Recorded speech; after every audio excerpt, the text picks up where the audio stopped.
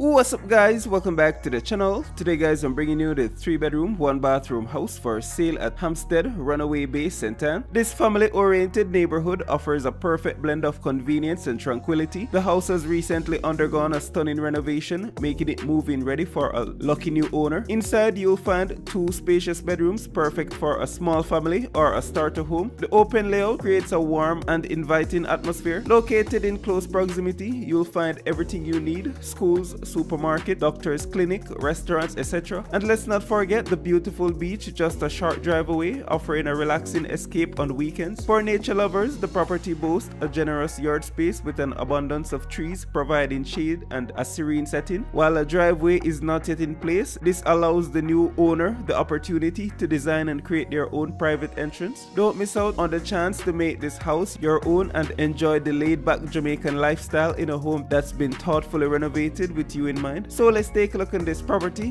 and you can comment down in the comment section below. Let me know what you think. If you're interested in purchasing, there is contact information down in the description for the sales agent. So here's the property guys.